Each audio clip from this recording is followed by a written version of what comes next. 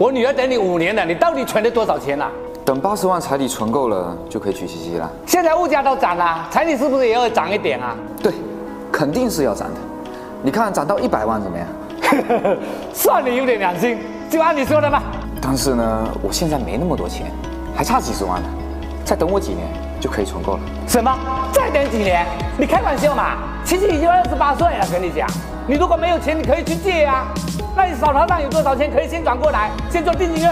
叔，关键是我也没地方借啊。怎么会没地方借呢？你都工作了多少年了？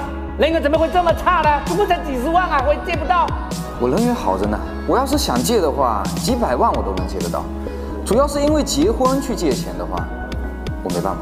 你要是这个态度的话，我要好好考虑你与七七的婚事的。那你好好考虑吧，我一会儿还有客人来，不送。做这事，你有考虑过后果吗？哼，没有，我倒想看看有什么后果。哎呀，思思啊，你也别和我生气呀。我没有生气。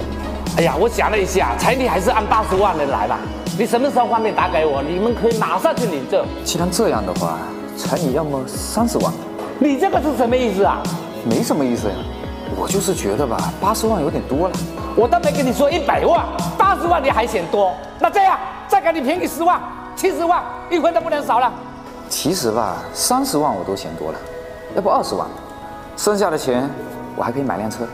你把我女儿当货物了嘛？啊，还在这讨价还价？你意思是不当货物了呗？那彩礼不要了？思思啊，你这个孩子怎么变成这样了？要不是我七七很想嫁给你，哎。那二十万就二十万嘛，马上转给我。你同意了？同意了。我现在不阻止你们两个人了。但是我现在又不敢把钱给你了。你又想干嘛吧？二十万还有话说。当初你非要八十万的彩礼才肯把七七嫁给我。